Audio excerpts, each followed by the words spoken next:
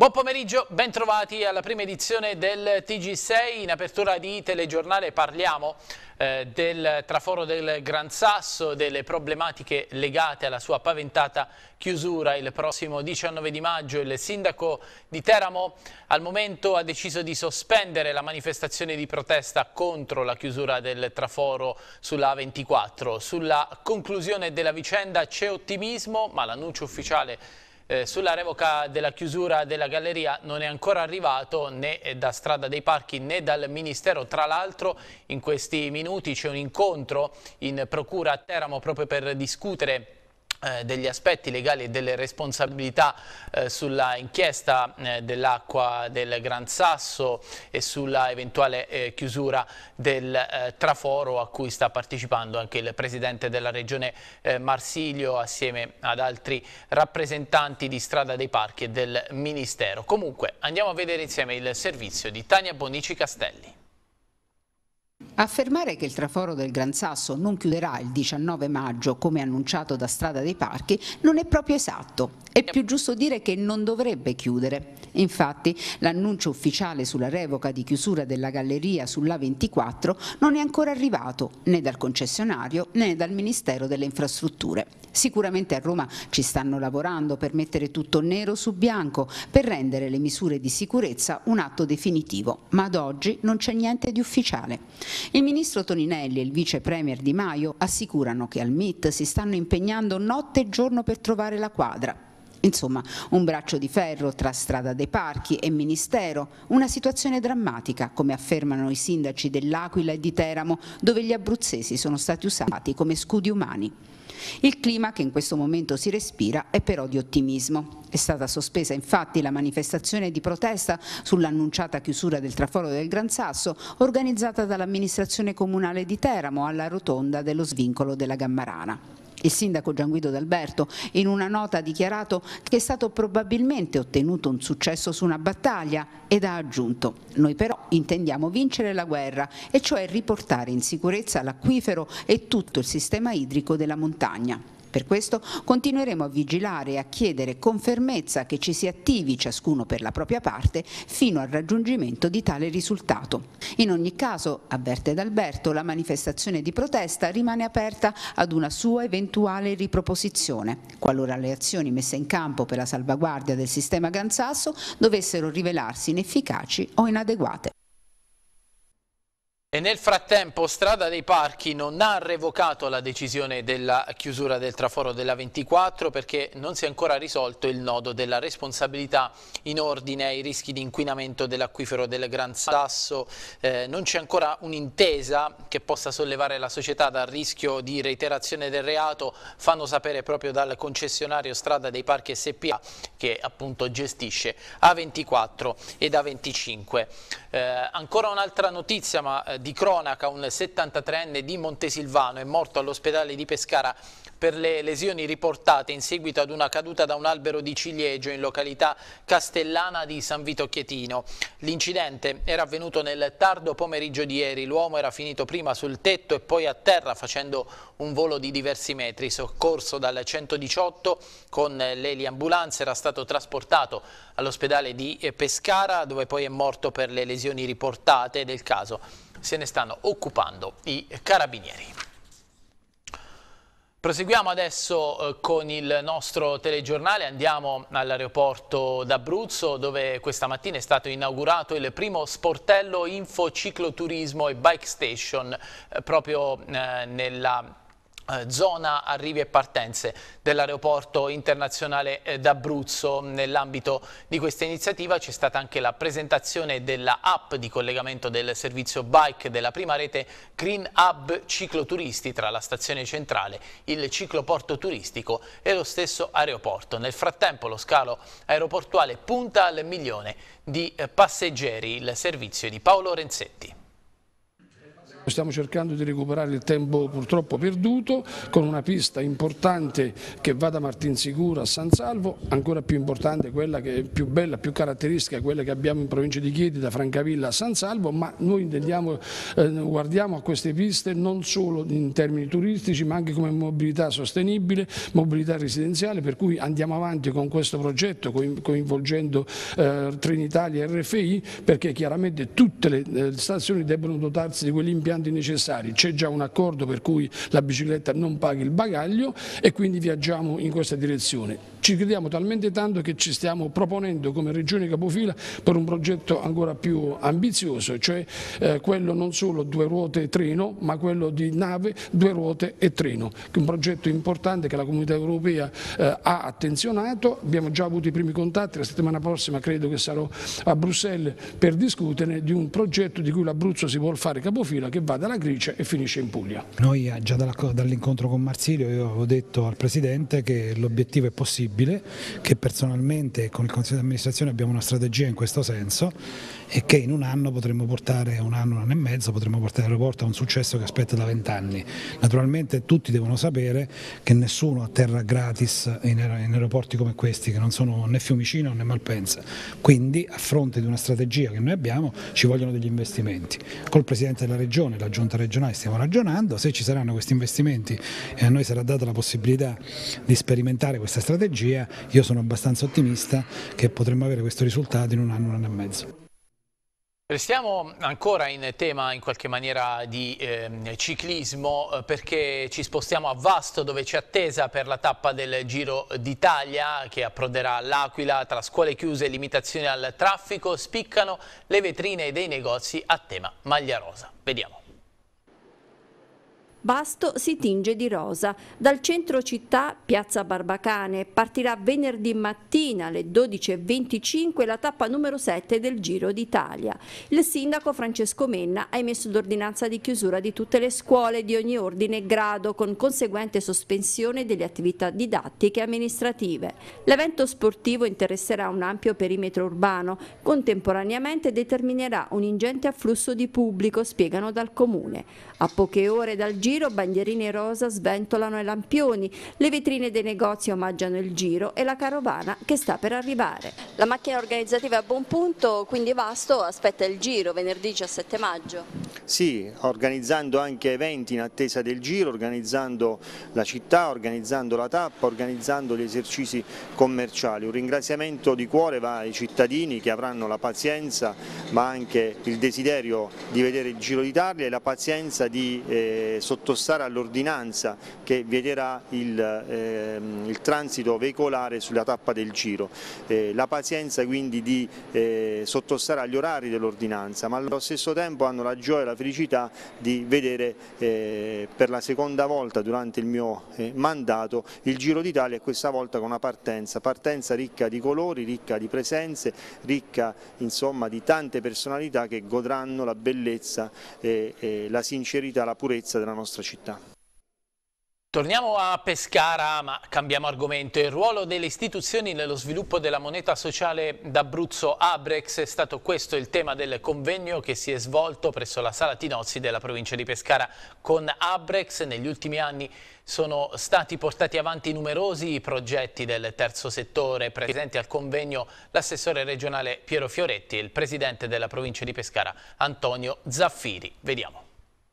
Quali sono secondo lei Assessore le utilità che potrebbe avere un ente come la Regione Abruzzo con l'utilizzo per i cittadini abruzzesi della moneta Abrex? Sicuramente eh, è un'iniziativa quella dell'Abrex che eh, a tutto campo colpisce la mia, la mia delega in quanto non è solo un discorso nell'ambito sociale ma sicuramente è un discorso nell'ambito lavorativo e produttivo in generale. Eh, si incastra in quelle che sono le idee che abbiamo da mettere in campo come eh, nuova amministrazione regionale. Si parla soprattutto di terzo settore, un eh, settore che ha bisogno diciamo, di un aiuto pubblico e privato. È un settore dove sicuramente le risorse scarseggiano e quindi c'è bisogno di un supporto che possa essere ecco, questo circuito nuovo eh, che valorizza eh, le capacità della persona, della piccola azienda di poter creare um, lavoro, di poter creare servizio e poter quindi far rientrare il tutto in una logica di baratto o comunque insomma, di eh, supporto fra eh, realtà in logica mutualistica.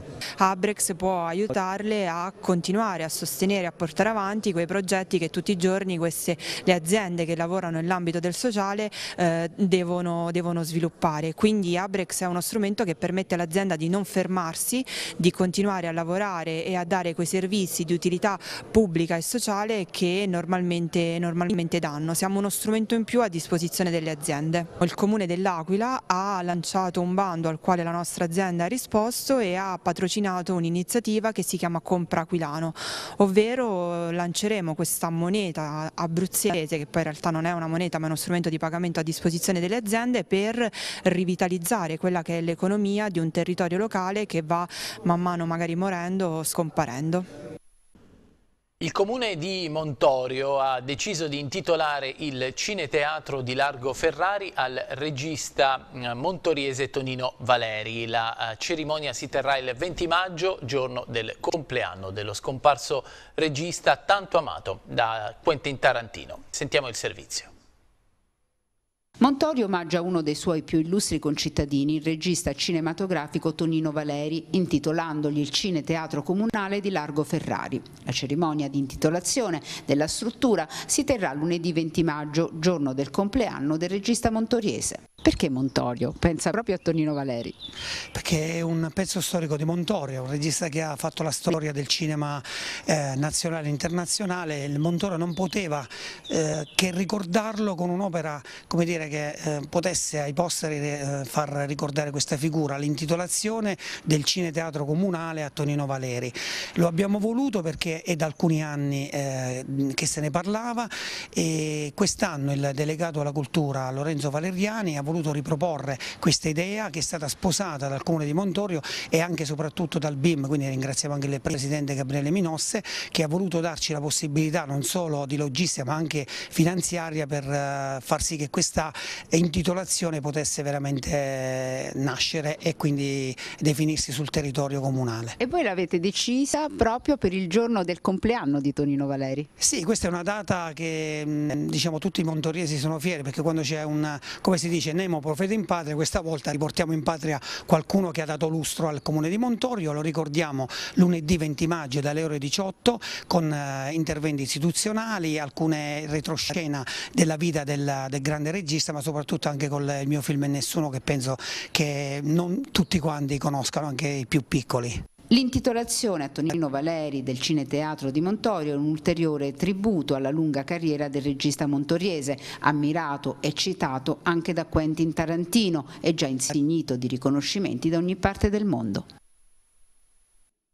Iniziativa analoga a Pescara, eh, negli ex locali della circoscrizione Castellammare, nascerà il Teatro Gianni Cordova, intitolato alla memoria del patron della LAD. Eh, L'iniziativa è stata resa possibile dalla sinergia fra l'assessorato al patrimonio del comune di Pescara, la LAD per l'appunto, e il Teatro Stabile d'Abruzzo che coordineranno la struttura subito operativa. Vediamo un teatro intitolato a Gianni Cordova della LAD e il Teatro Stabile Abruzzese ha contribuito non poco alla nascita di questa importante iniziativa. Sì, noi abbiamo collaborato sin da subito alle, alle idee che ci sono state avanzate dalla LAD, da Gianni in persona e da William Zola che è il nostro collaboratore eh, da anni su Pescara insieme a tanti altri artisti e abbiamo collaborato in maniera fattiva alla realizzazione del palcoscenico, della quintatura, di tutta la parte tecnologica delle attrezzature che sono indispensabili per fare teatro, lo spazio è molto bello anche se piccolino perché sono 200 posti ma quando si inaugura una sala teatrale non siamo altro che entusiasti e felici di poter offrire questo nuovo spazio alla città di Pescara ma direi a tutto l'Abruzzo perché noi siamo il teatro stabile regionale e quindi è il nostro precipuo compito intervenire sul territorio e questa è una delle operazioni che il nostro direttore Cristicchi, il nostro CDA presieduto dalla De Simone, dalla dottoressa complesso De Simone hanno inteso fare e che io insieme ad altri della struttura, Roberta in particolare, abbiamo seguito ormai da dieci anni. Dopo tre anni coroniamo questo, questo sogno, Gianni Cordova meritava e merita questo riconoscimento, il progetto è partito insieme a lui, abbiamo delle belle ambizioni credibili, apriremo insomma, questo spazio domani mattina, si trova in Viale Bovio al 466 l'ex circoscrizione Castellammare che è diventato un teatro, quindi ristrutturato, molto bello e, e, sarà un work in progress perché faremo anche delle migliorie in prospettiva. Sarà un centro di ricerca e produzione teatrale aperto un po' in tutta la, la regione ma anche in tutto il paese.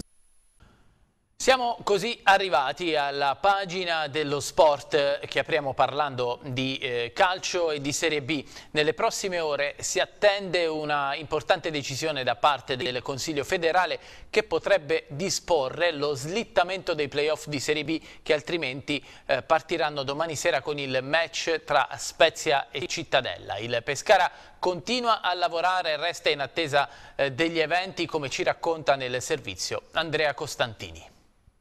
Serie B col fiato sospeso, in corso infatti il Consiglio federale che aveva diversi punti all'ordine del giorno, cui si sono aggiunte le conseguenze del caso Palermo che il Presidente federale Gabriele Gravina sottoporrà all'attenzione del Consiglio. In particolare sotto la lente di ingrandimento sono finite le decisioni del Consiglio direttivo della Lega di Serie B che dopo la sentenza del Tribunale federale di retrocessione del Palermo all'ultimo posto, sfruttandone l'immediata esecutività e senza attendere l'esito del ricorso d'appello, ha confermato le date playoff originariamente previste ed ha anche eliminato i play-out, ritenendo la quarta retrocessione quella del Palermo, senza rimettere in gioco dunque il Foggia nel doppio spareggio con la Salernitana. L'orientamento del Consiglio federale, in attesa di decisioni definitive, sembra quello di far slittare i playoff, in attesa che sul caso Palermo arrivino a sentenza i giudici della Corte federale d'appello. E questo è il caso più urgente, perché senza lo stop della Federcalcio, già domani sera gli spareggi avranno inizio con Spezia Cittadella. Molto sentita anche la questione della mancata disputa dei playout, vicenda che si interseca anche con il ricorso del Foggia, che sarà discusso domani al Collegio di Garanzia del CONI e nella quale i satanelli chiedono una ulteriore rimodulazione della penalizzazione. Restano alla finestra le squadre qualificate ai playoff. Allo stato attuale il Pescara entra in scena con la semifinale d'andata di mercoledì 22 maggio contro la vincente di Verona Perugia, ma tutto può cambiare, sia in termini di data, se i playoff dovessero slittare, sia in termini di accoppiamento. Se il Palermo dovesse tornare al terzo posto, il Pescara giocherebbe il primo turno secco in casa col Cittadella. Se i rosanero dovessero avere una pesante penalizzazione, bisognerebbe verificare la nuova classifica. Intanto la squadra continua a lavorare immergendosi nel clima tranquillo del Poggio. La buona notizia di oggi è che Gaston Brugman, che ieri era rimasto fuori, stamani è tornato regolarmente in gruppo, disputando anche la partitella finale. Ha continuato a lavorare a parte con corse intorno al campo Alessandro Bruno, lavoro differenziato sempre per Vincenzo Fiorillo, Cristiano Del Grosso e Ugo Campagnaro. Le prossime sedute, sempre singole mattutine, faranno capire se questi giocatori torneranno in gruppo e dunque regolarmente a disposizione di Beppi Pillon. Scendiamo di categoria, andiamo in Serie C per parlare del Teramo, incontro a Roma fra l'avvocato tributarista Giovanni Palma e il presidente dei biancorossi Luciano Campitelli. L'ex numero 2 della Juve Stabia sembrerebbe interessato a rilevare una quota consistente del pacchetto azionario del Teramo. Ci dice di più nel servizio Jacopo Forcella. Giovanni Palma entra nell'orbita del Teramo. Il tributarista fino ad aprile vicepresidente della Juve Stabia potrebbe presto rilevare una quota consistente del pacchetto del diavolo. L'indiscrezione rilanciata stamane dal QS partiva dalla possibilità di acquisizione della San Benedettese da cui Fedeli vuole andare via e Palma, avvocato con studi a Roma, Napoli, Milano e Londra, smentendo l'avvicinamento ai rossoblù ha confermato invece di avere interesse ad entrare nel sodalizio biancorosso. Una strada, quella per il presidente Campitelli uscita dopo una chiacchierata informale di qualche giorno fa e che nulla aveva a che vedere col calcio, ma la buona predisposizione di Palma a ricominciare l'avventura col pallone, interrotta qualche settimana fa con le Vespe giallo-blu poi promosse in Serie B, deve aver dato la spinta al patrono biancorosso per cercare di approfondire la tematica. Lo dice anche Palma, stiamo valutando assieme un mio possibile ingresso in società, il mio interesse è rientrare nel calcio dopo le mie prime esperienze, felici? Dal punto di vista calcistico e meno nei rapporti con i soci. La volontà è quella di acquisire un club e di esserne l'unico proprietario, così da non far nascere divergenze in seno alla proprietà e spingere sull'innovazione. Queste le parole rilasciate al quotidiano nell'edizione odierna, anche se Palma potrebbe accontentarsi, tra virgolette, di una quota molto consistente del pacchetto, in modo da rilanciare un progetto calcistico che Campitelli ha in mente, ma che deve avere il sostegno di imprenditori che ne affianchino l'azione, specie dal punto di vista economico. L'incontro a Roma di oggi, dunque, non sarà risolutivo, ma solo un'ulteriore esplorazione della volontà di Palma di tornare a occuparsi di calcio. Dopo poche settimane e dopo la brusca interruzione arrivata a seguito della contestazione ricevuta a fine aprile dopo la gara di spareggio al Menti tra Giuliano e Frattese per la promozione in Serie D. Gli ultras della curva sud stabiese lo avevano accusato in quella circostanza di essersi defilato lasciando da solo il patron Manniello. Un invito esplicito a lasciare il club che Palma aveva ufficializzato via social. Ora potrebbe avere anche una possibilità a Teramo? Complicato fare previsioni. Quello che è certo è che Campitelli continua ad intessere rapporti che siano in grado di dare un futuro diverso al suo diavolo, appena messo in salvo. Lasciamo i professionisti, scendiamo nei campionati dilettanteschi. Domenica prossima alle 16.30 il Silvi giocherà i playoff promozione di prima categoria al campo Tiberio Orsini sul campo del Giulianova Annunziata. Appuntamento che arriva a poche settimane dal cambio ai vertici della società, ora presieduta da Antonio Del Vecchio, che andiamo ad ascoltare nell'intervista. Antonio Del Vecchio, presidente del Silvi, eh, domenica ci sarà l'appuntamento con i eh, playoff, sfida secca, difficile in trasferta contro il Giulianova Annunziata, però avete importanti ambizioni. Sì, è beh, normale, noi adesso arrivati a questo punto della stagione credo che poi le differenze dei punti della classifica si azzerano, quindi adesso conta soprattutto metterci volontà, forza, impegno, sacrificio e l'obiettivo di raggiungere insomma, la finale del girone in questo momento e quindi superare questa semifinale. Per noi è un po' difficile perché perché avremo solo un risultato che è quello di vincere, invece mentre Giulianova avrà due risultati su tre e poi giocherà in casa alla semifinale. Nelle ultime settimane due eventi, eh, intanto la presidenza passata proprio ad Antonio Del Vecchio, poi la riapertura del, delle tribune eh, del campo Ughetto di Febo. Ecco, vogliamo spiegare un po' questi passaggi. Intanto come mai questa presidenza quali sono gli obiettivi? Beh, sicuramente com come mai questa presidenza? Perché io un po' già qualche anno fa ero stato già nel mondo dilettantistico in un'altra squadra, poi avevo lasciato e adesso sono rientrato. A me piace stare nel calcio, piace stare con i ragazzi. Mi rendo conto che è un, è un impegno, è una carica molto importante e molto difficile. Spero di portarla avanti con umiltà e con impegno, sempre nell'interesse di questa comunità Silvarola, come ho avuto modo di dire in altri ambienti, che dovrà e spero di raggiungere degli obiettivi e delle categorie un po' più alte rispetto all'attuale prima categoria, perché eh, Silvi deve raggiungere almeno, secondo me, la promozione, poi da lì in poi, strutturandoci e creando delle basi solide come sono state gettate quest'anno, io spero di poter raggiungere un obiettivo importante, soprattutto perché quest'anno siamo ripartiti con il settore giovanile, abbiamo fatto primi in tutte le categorie, tranne nella Juniors d'Elite che siamo arrivati secondi e per qualche punto non siamo andati a fare la finale con l'Angolana. Quindi eh, colgo l'occasione per ringraziare soprattutto tutto lo staff tecnico della prima squadra e del, del settore giovanile che hanno realizzato questi importanti traguardi quest'anno. È importante poi soprattutto giocare in categoria superiore con la riapertura dello stadio, perché con lo stadio ehm, che è stato eh, messo a punto, ultimato, con le tribune che adesso eh, sono state riaperte, con gli spogliatori che sono stati completati e riaperti sotto una delle due tribune, e avere un campo del genere e giocare in queste categorie è veramente un delitto, dico io spesso, quindi mi auguro che le due cose adesso camminano in categorie superiori. Adesso il calcio a 5, sono iniziati due giorni fa le fasi finali dei campionati studenteschi di calcio a 5, l'evento giunto alla sua undicesima edizione si sta svolgendo a Giulianova, vediamo. Sono circa 500 gli studenti arrivati a Giulianova da tutta Italia per la disputa delle finali nazionali dei campionati studenteschi di calcio a 5. L'evento, iniziato due giorni fa, vivrà sabato la sua giornata finale. In competizione tutte le regioni italiane nelle categorie maschile e femminile. I sorteggi si sono svolti al Salinello Camping Village di Tortoreto, mentre le partite si stanno disputando al campo ex castrum Tiberio Orsini di Giulianova. Nella giornata di ieri l'accensione del braciere olimpico al Porto.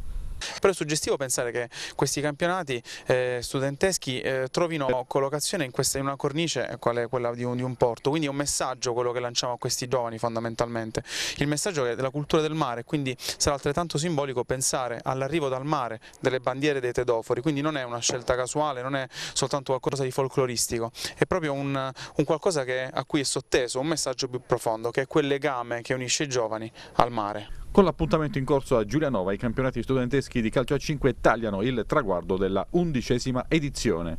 Fra pochi giorni, come sapete, avremo anche l'organizzazione dei campionati mondiali studenteschi di tennis a Castel di Sangro. Siamo onorati e orgogliosi, io ho sempre detto che un grande evento si fa quando si ha una grande squadra. Io devo ringraziare tutti i docenti di educazione fisica e non che hanno collaborato con me e con l'ufficio scolastico regionale per la realizzazione di questo evento. E questo era il nostro ultimo servizio per quanto riguarda la prima edizione del eh, TG6. Vi ricordo che se volete trovate tutti i nostri servizi on demand sul sito www.tv6.it e sulla nostra pagina YouTube. Vi ricordo anche l'appuntamento di questa sera alle 21 con eh, Velò, la trasmissione condotta da Jacopo Forcella con il patron Luciano Rabottini che chiaramente si occuperà del Giro d'Italia, della tappa abruzzese che approda all'Aquila con un collegamento in diretta proprio dal eh, capoluogo di regione, dal vivo del eh, villaggio che attende l'arrivo della tappa. Io vi ringrazio per essere stati con noi e vi auguro una buona giornata.